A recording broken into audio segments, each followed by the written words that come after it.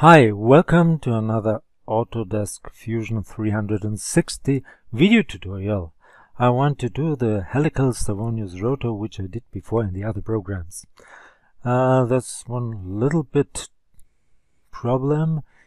You get only like in uh, Solid Edge. No helix but only a coil. Therefore I will do it in the same way as I did it in Solid Edge. So let's start with the coil. Go to create and there it is a coil. First select the plane, then draw a circle, diameter should be uh, 100, no no, 2, 100, 100, yes. Okay, change it to pitch and height. Height should be 200. Pitch should be 400. And make, see, I cannot make a section size of 0, so I will go for a square section. Make it on the inside, yes and make it, let's say, 4 and confirm.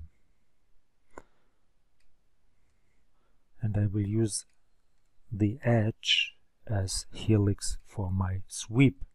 So maybe let's change to the patch environment and I need a sketch on a plane with an offset because you see the edge is slightly above.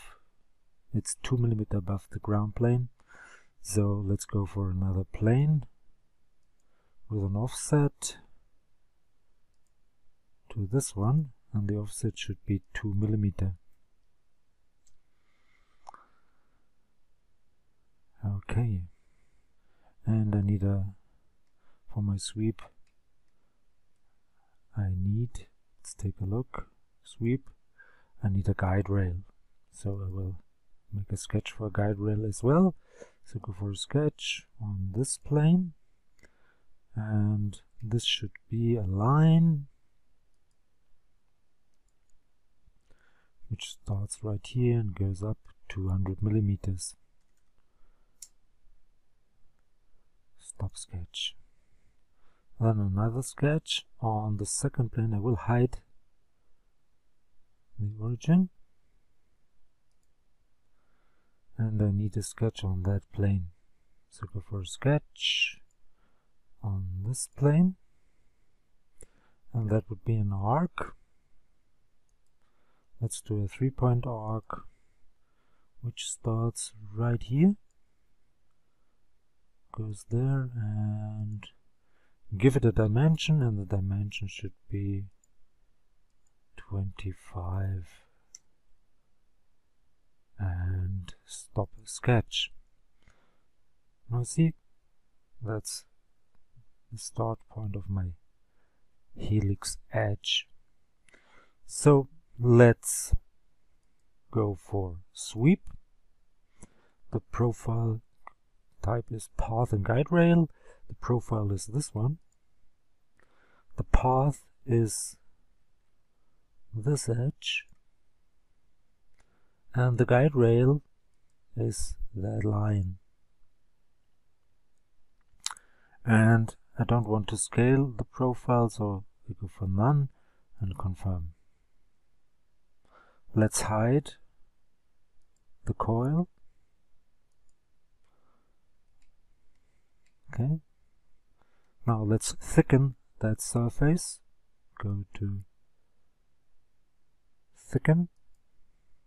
I want to thicken that surface. I will do it symmetric and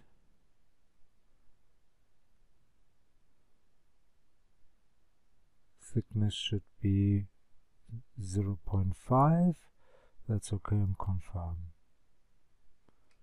okay let's go back to our model environment. And let's make a pattern. A circular pattern. I want to pattern a body. This body. The axis should be the y-axis. And make it full circle two instances and confirm. Now let's combine these two bodies. Go for modify combine. One two confirm. And I'm done. So hope you enjoyed this video. See you to the next one. Bye bye